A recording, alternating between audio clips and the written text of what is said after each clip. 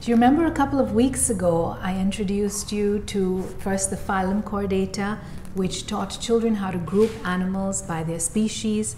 Then we went into the loosely grouped terminology cards, which showed them pictures of these animals and they could recognize the features. Now we're taking it a step further. Now, if you missed these videos, I put the links in the description box and I am linking them up here for you as well so that you can watch these videos that come as a prelude to what we're doing today. Today, we are working with the specifically grouped terminology cards. That means we're going to take an animal group and we're going to learn something very specific about them. And what I'm going to be teaching my uh, niece Anna today is about birds that cannot fly. That's what we're going to be working with. She already knows about birds and what are the features that classify this creature as a bird. But now she's going to learn something very specific about uh, this group of animals. The presentation is extremely similar. It's, it's pretty much the same as what we've seen in the past. We have that for the child who can read between uh, from four to six years, and of course, the child who cannot read from two to four years. I'll do both of those presentations for you, and then we'll talk a little bit about how we can vary this up and the different things we can do. So, Anna, today I want to teach you about a special group of birds. Can you tell me how do we know that an animal is a bird? What does it have on its body? Uh, feathers. Feathers. And what does it have on its mouth? Peak. And about what else does it have to fly? It has wings. Right, okay. Now, me show you some birds. See if you know these birds. Do you know what this one is? Penguin but can fly. Right. But it still has a peak. Do you know that it's got a very big body? It eats a lot of fish to keep it warm. And because the body is heavy and the wings are not strong enough, cannot fly. So we call it a flightless bird. Can you say that? Flightless bird. Right. Can you keep it on the side? Mm-hmm. Have you seen this bird before? No. We call it emu. Can you say that? Emu. An emu is a very tall bird. It's taller than you. And it cannot fly, but it can run very fast. Because it's like an ostrich. It's like that. And when it cannot fly, we call it flightless bird. Flightless bird. Can you keep it here? Have you seen this bird before? Peacock. Right. In It's got- China. you've seen it? It's got such beautiful colors, isn't it? That's why it's the most famous bird in India. Yes, it is. You're right. And this bird, the tail feathers are very heavy. That's why it can uh, fly. That's right. So, what do we call it? a flightless That's bird. right. Have you seen this before? No kiwi. It's a kiwi, right? It's really tiny. It's got a long beak to dig into and the it, soil. it's really uh, fast. It is. It's, the wings are so tiny you can hardly see it. And it cannot fly, so we call it Flightless bird. right. And finally, do you know this? It looks like an ostrich. It's very similar. We call it rhea. Can you say that? Real. It's also a very tall bird. Can you see it's got long legs? Yeah. Do you see any wings? No. Because they're really small. Right, it cannot fly. So we call it flightless bird. Now I'm going to give you these pictures and let's see if you can match them, okay?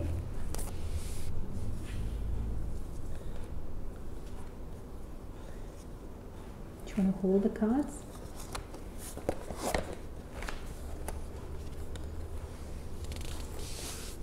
Okay, so today we learned about birds that cannot fly. We call them Flightless birds. Right. If you want to do this again, you know where it's kept.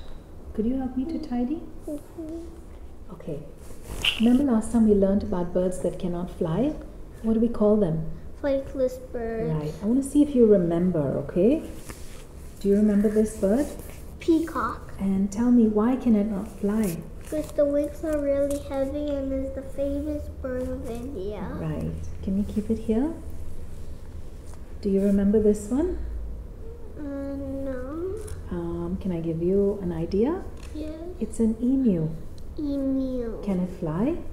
No, because you can't see the feathers. Mhm, the and they're really small. Okay, and so we call it Flightless birds, and these are penguins, and they eat a lot of fish.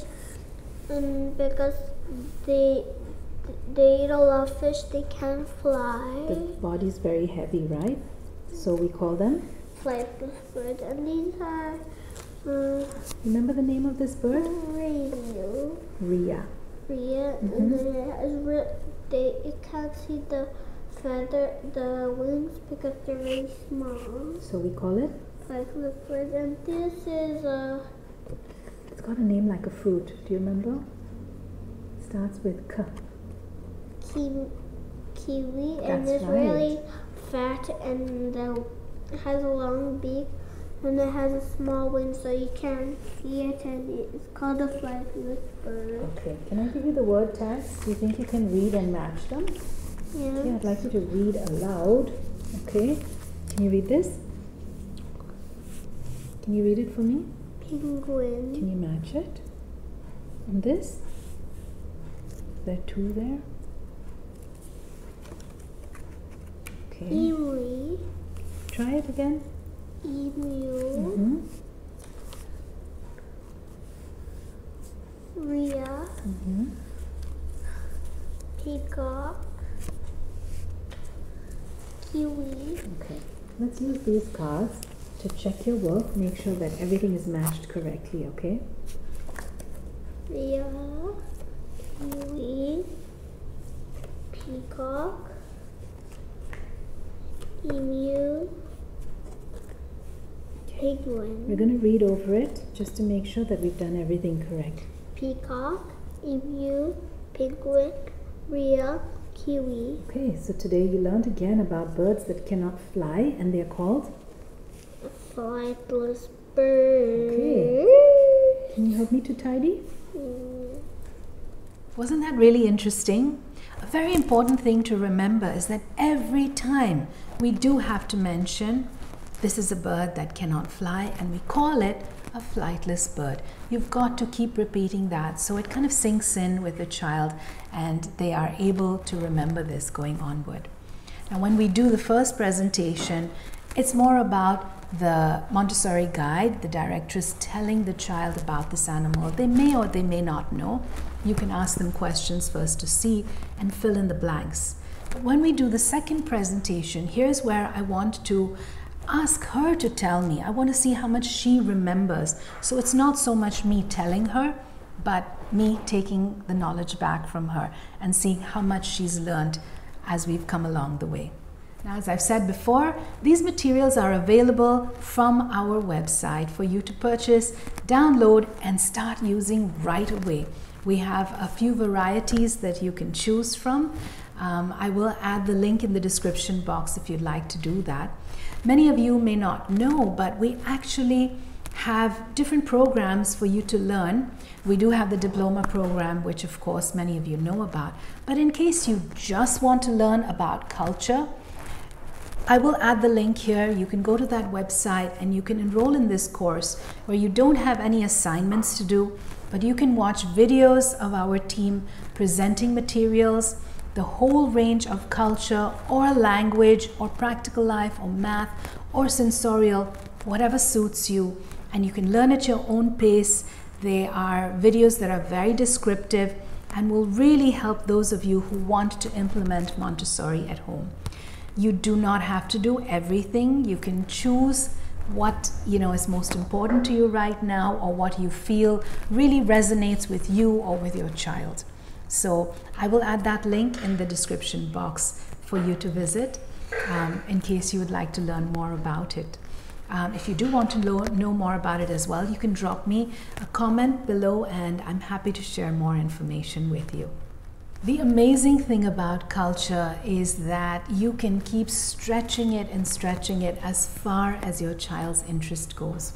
Remember, Montessori is about following the child. We build on their interest, we help them to develop more knowledge in relation to what they're interested in. If you are not too sure about Follow the Child, we have a great video on that. I will link it right up here and I will also put the description, the link in the description box. So if you find your child is interested in learning about birds, we can take it further and we can teach them about birds of prey, the ones that hunt, or we can teach them about uh, birds who are herbivorous or carnivorous. There's just so many places that this can go. They can learn about uh, mammals that are aqua aquatic, like whales and dolphins um, and things like that. So you see what your child is attracted to and create materials that suit them. I'm really hoping you're going to try this out with your children at home. And when you do, let us know how it goes. Come back, drop a, comments, a comment below and let me know if you were successful or if you had any challenges, I can help you to solve them. So, if you've liked this video, please do hit the like button. Leave a comment below. Tell me a little bit about yourself and how you're using Montessori in your school or at home with your child. Subscribe to our channel so that you don't miss any of our videos. And until we meet again, have a beautiful day.